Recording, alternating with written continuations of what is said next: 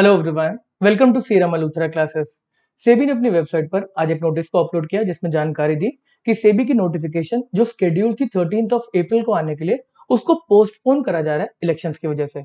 अब क्या एक अच्छी खबर है या बुरी खबर है एस्पिरेंट्स के नज़रिए से, इसके बारे में थोड़ी सी बात करेंगे। सबसे पहली बात, आज के दिन पे हमें श्योरिटी है कि सेबी की नोटिफिकेशन तो ज़रूर आएगी। भले ही थोड़ा सा डिले हो गया बट नोटिफिकेशन तो ज़रूर आएगी।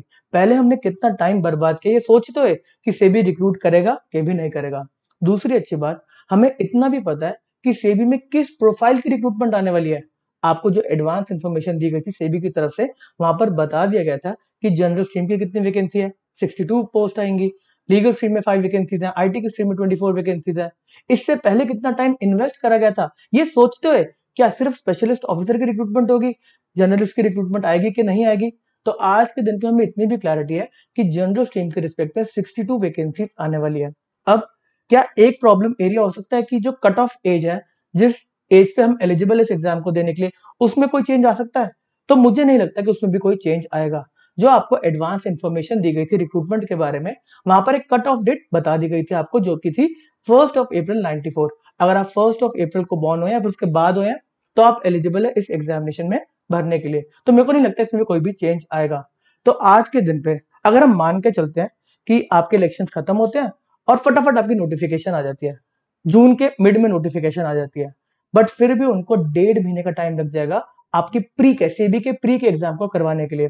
मान के चले जुलाई मंथ के एंड में या अगस्त मंथ के फ़र्स्ट वीक से पहले एग्जामिनेशन नहीं हो सकता।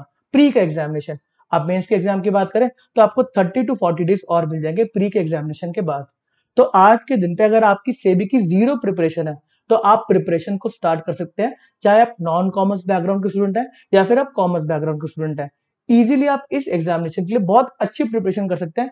इतना टाइम रेगुलेटरी बॉडी के एग्जामिनेशन की प्रिपरेशन के लिए नहीं मिलता। साथ ही साथ और एग्जामिनेशन की बात करेंगे रिज़र्व बैंक ऑफ़ इंडिया का नोटिफिकेशन आई नहीं है तो वो भी अब थोड़ा सा मुश्किल लग रहा है कि इसकी नोटिफिकेशन भी नहीं आएगी। अगर सेबी की नोटिफिकेशन को पोस्टपोन कर दिया तो सेंस नहीं बनता कि और कोई रेगुलेटरी बॉडी की नोटिफिकेशन या फिर और कोई गवर्नमेंट ऑर्गेनाइजेशन की रिक्रूटमेंट की नोटिफिकेशन आ जाए। साथ ही साथ आई रेगुलेटरी बॉडी जो है, उसकी नोटिफिकेशन आ चुकी है। तो सबसे पहले जो एग्जामिनेशन होगा, वो आई का ही होने वाला है। अगर आप आई एग्ज़ाम के लिए एलिजिबल है तो आप इसकी प्रिपरेशन अच्छे तरीके से कर सकते हैं आई के एग्जामिनेशन के लिए।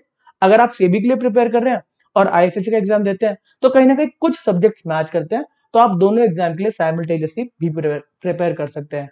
तो एक छोटा सा इन्फॉर्मेशन वीडियो था। इस सेशन को यहीं पे समाप्त करते हैं। Okay data bye bye